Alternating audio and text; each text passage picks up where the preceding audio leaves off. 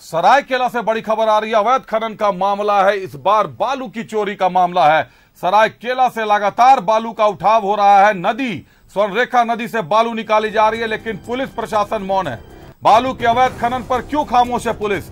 20 lakh CFT बालू बरामदगी के बाद हुआ खुलासा। बालू के अवैध खनन पर क्यों रही सरायकेला? पुलिस खामोश? ये एक बड़ा सवाल खड़ा हो गया है। महीनों से हो रहा सरायकेला में बालू का काला कारोबार। सरायकेला खरसावा के खनन विभाग को लेना पड़ा एक्शन। ईचागढ़ विधानसभा क्षेत्र के तिरुलडी में ज़बरदस्त छापामारी हुई।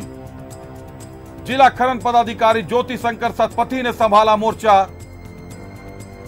अवैध बालू लदे तीन ट्रैक्टर भी जब्त किए गए हैं। रेलवे लाइन के किनारे स्वर्णरेखा नदी से बालू का उठाव होता है।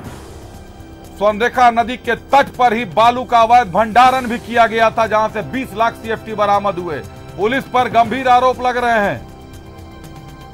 पुलिस पर बालू तस्करों से साठ गांठ के आरोप हैं। प्रति ट्रे पाँच हज़ार रुपए वसूली के गंभीर आरोपों पर चर्चा है। सरायकेला से निकले बालू को भेजा जा रहा रांची और जमशेदपुर। बाज़ार में बालू की कालाबाजारी हावी। पैतालीस हज़ार से लेकर पचास हज़ार रूपए प्रति हाईवा तक की हो रही है बिक्री। सरायकेला से निकले बालू को भेजा जा रहा रांची, जमशेदपुर हाईवे पर बेधड़क अवैध बालू लाद कर ये हाईवा और वाहन दौड़ते हैं।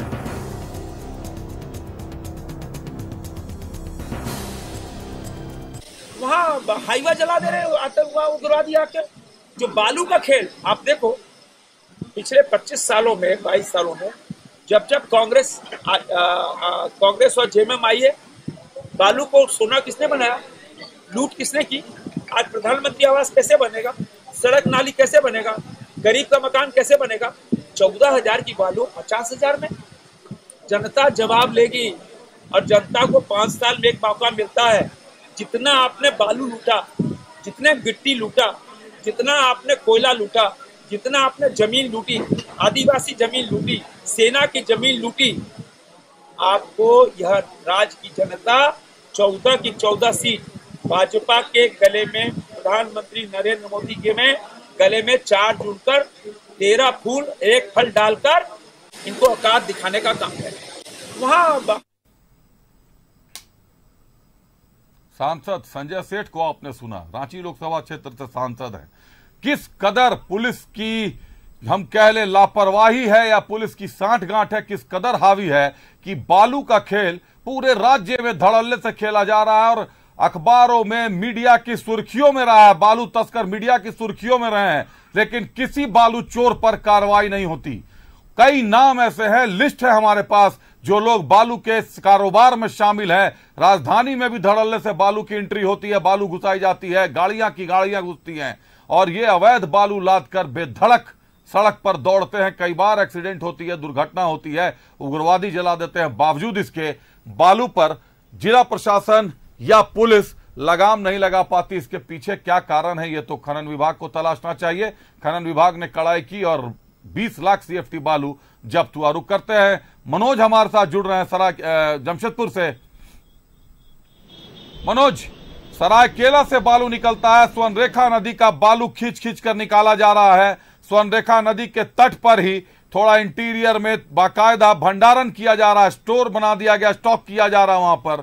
और वहाँ से पाँच हज़ार रुपए प्रति हाईवा पुलिस को मैनेज किया जाता है, जिसमें नीचे से ऊपर तक के सारे पदाधिकारी मैनेज होते हैं। और 45 से पचास हज़ार रुपए प्रति हाईवा ये बालू बेचा जाता है, कभी रांची भेजा जा रहा है, कभी जमशेदपुर भेजा जा रहा है, जो जानकारियाँ मिल रही है। मनोज?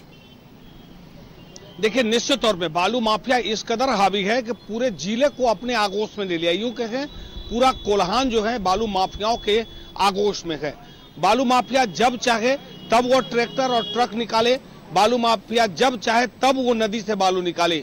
भले ही खानापूर्ति किया जाता है, खनन विभाग द्वारा। खनन विभाग खानापूर्ति करती है।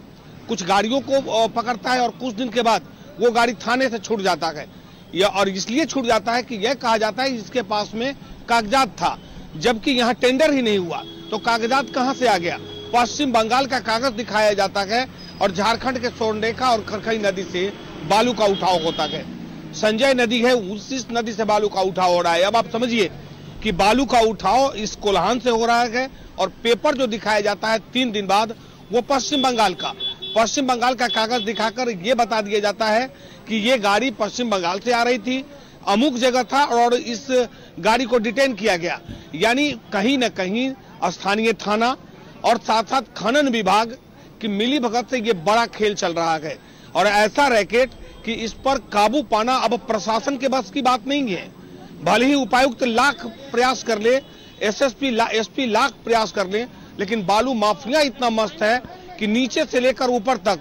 सूत्र तो ये भी बताते हैं कि सरकार में बैठे हुए कुछ वैसे शपथ पे शपथ पेश नेता है, जिन तक बालू का पैसा जाता है और सीधे रांची से डीलिंग होता है। और एक बार अगर किसी का हाईवा अगर पकड़ा है और एक साथ एक हाईवा नहीं पकड़ाता है, एक साथ पाँच से सात, आठ हाईवा पकड़ाता है और उसके बाद में ठीक 24 घंटे या 48 घंटे के बाद वो गाड़ी छूट जाती है। वहाँ पेपर दिखाया जाता है कि ये पश्चिम बंगाल की कागज़ है। ये उड़ीसा की कागज़ है। वहाँ के खनन विभाग का कागज़ दिखाकर और मामूली फाइन, क्योंकि आप एंट्री का जो फाइन है, वो दिखाया जाता है यार, कहीं तो वो भी नहीं होता है। अब आप समझिए कि बालू माफिया का इस कदर राज चल रहा है कि सरकार से लेकर प्रशासन तक उसके कब्जे में है। अगर कोई पत्रकार अगर दिन में उसका रिकॉर्डिंग कर ले, या उसके सामने रिकॉर्डिंग कर ले, या तो उसकी जान जाएगी, या उसको वहीं पर उसकी पिटाई की जाएगी। तो आप समझिए लेकिन अगर थाना को फ़ोन करेंगे तो थाना समय पर नहीं पहुंचेगा क्योंकि थाना को महीना मिलता है हर गाड़ी से।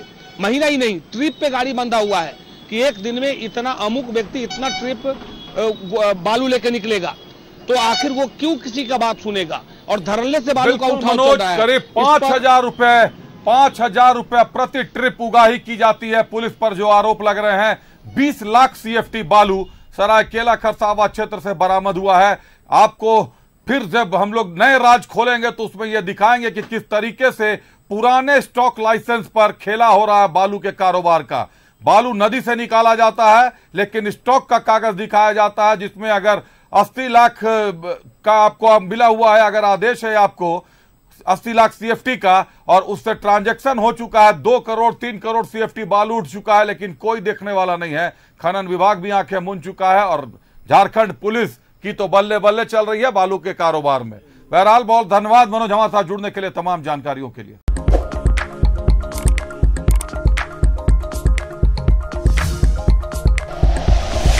Like and share videos, subscribe करें हमारा चैनल और प्रेस करें बेल आइकॉन न्यूज़ 11 भारत सच है तो दिखेगा।